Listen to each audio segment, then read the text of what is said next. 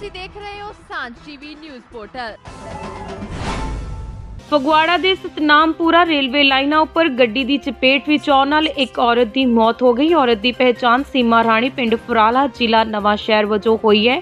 Railway ਚੌਂਕੀ GRP ਦੇ incharge ਗੁਰਵੇਜ Singh ਨੇ ਮੌਕੇ ਤੇ ਪਹੁੰਚ ਕੇ ਔਰਤ ਦੀ ਬਾਡੀ ਨੂੰ ਕਬਜ਼ੇ ਵਿੱਚ ਲੈ ਕੇ ਫਗਵਾੜਾ ਦੇ ਸਿਵਲ ਹਸਪਤਾਲ ਵਿੱਚ ਰਖਵਾ ਦਿੱਤਾ ਹੈ।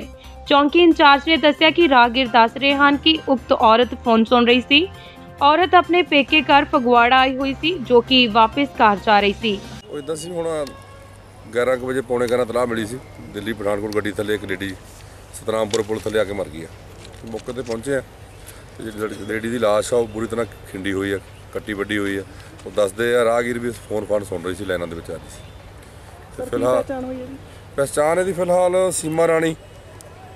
ਵਾਈਫ ਆਫ ਰਾਮ ਪ੍ਰਕਾਸ਼ ਵਾਸੀ ਫਰਾਲਾ ਪਿੰਡ ਵੱਲ ਹੋਈ ਆ ਅਜੇ ਕੋਈ ਵਾਰਸ ਮੌਕੇ ਤੇ ਪਹੁੰਚਾ ਨਹੀਂਗਾ ਉਹਦੀ ਬੈਂਕ ਦੀ ਕਾਪੀ ਉਹਦੇ ਕੋਲ ਸੀ ਤੇ ਬਾਕੀ ਕੁਝ ਲੋਕਾਂ ਨੇ ਪਛਾਣਿਆ ਵੀ ਆ। ਉਹਦੇ ਘਰਦਿਆਂ ਦੀ ਡੀਕ ਕੀਤੀ ਜਾ ਰਹੀ ਆ। ਘਰਦੇ ਆਉਂਦੇ ਆ ਫਿਰ ਉਹਦੀ ਸਟੇਟਮੈਂਟ ਲੈਣੇ ਆ। ਜੋ ਵੀ ਉਹ ਕਹਿਣਗੇ ਉਸ ਹਿਸਾਬ ਬਿਆਨ ਲਿਖ ਕੇ ਕਾਰਵਾਈ ਕੀਤੀ ਜਾਊਗੀ। ਲੈਣਾ ਤੋਂ ਮੋਬਾਈਲ ਮਿਲ ਗਿਆ ਜੀ? ਮੋਬਾਈਲ ਮਿਲ ਗਿਆ ਉਹ ਟੁੱਟਾ ਹੋਇਆ ਬਿਲਕੁਲ ਇਹ ਪਤਾ। ਲੱਗਾ ਕਿੱਧਰੋਂ ਆਈ ਤੇ ਕਿੱਧਰ ਜਾ ਰਹੇ ਸੀ? ਅਜੇ ਫਿਲਹਾਲ ਨਹੀਂ ਪਤਾ ਲੱਗਾ। ਇਹ ਤਫਤੀਸ਼ ਕਰ ਰਹੇ ਆ। ਲੈਣਾ ਵਿੱਚ ਤੁਰੀ ਆ ਰਹੀ ਸੀ। ਤੇ ਕੀ ਕਾਰਵਾਈ ਕੀਤੀ ਜਾ ਰਹੀ ਹੈ? ਫਿਲਹਾਲ 174 ਦੀ ਕਰਾਂਗੇ। ਐਸਐਚਓ ਸਾਹਿਬ ਮੌਕੇ ਤੇ ਆ ਰਹੇ ਆ।